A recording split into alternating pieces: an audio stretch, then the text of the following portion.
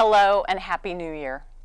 It's hard to believe it's been nearly three years since COVID-19 hit us. We continue to navigate the complexities of managing COVID within a prison environment. As we follow CDC and OHA guidance for correctional settings, we're working our way towards normal operations. CDC just released its newest guidance for correctional settings, so we've updated our response and recovery plan. If you haven't received a copy of it over email yet, you will shortly.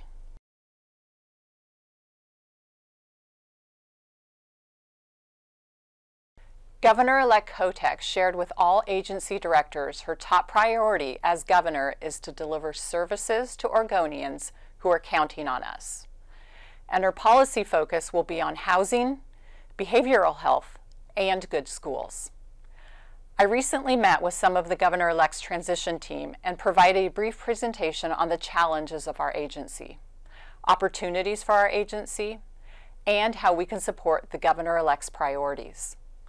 During this process, the team also received information on vacancy rates and our recruitment efforts, audit and performance information, and updates on our equity, diversity, inclusion, and belonging efforts, and much more. I was truly proud to tell our story.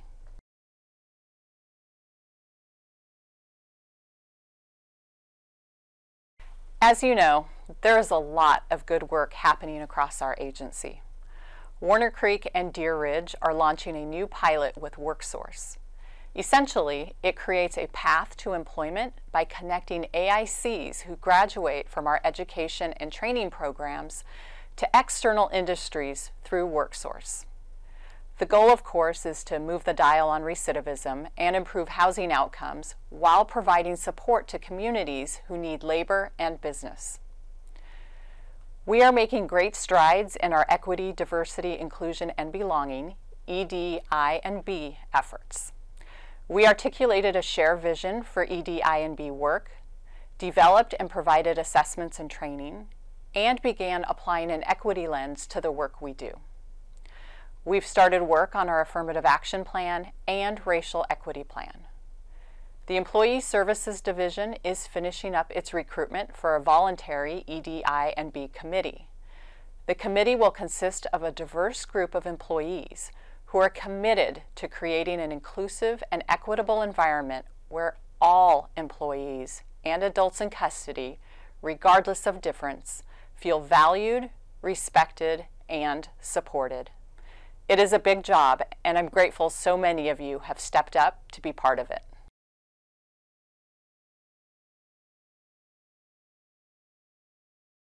A shout out to our accounting unit.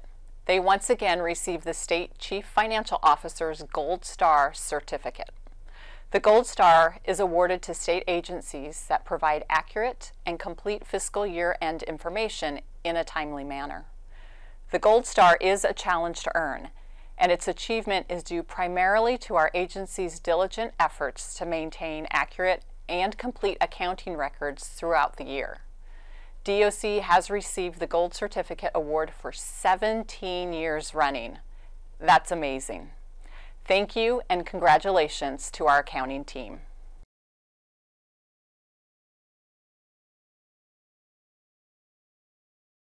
We have such generous people working across our agency.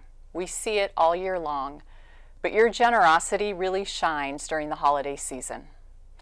Our team at TRCI donated 16 bicycles, a dresser, art supplies, sporting equipment, cameras, clothes, and so much more to their local community. This is so impressive, and I know other work sites held similar events. The kindness and generosity we see in our agency doesn't happen everywhere, and it's one of the reasons why I've always been so proud to work for our agency.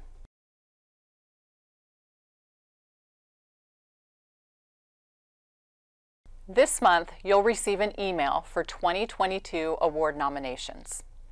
Please take the time to nominate individuals deserving of recognition.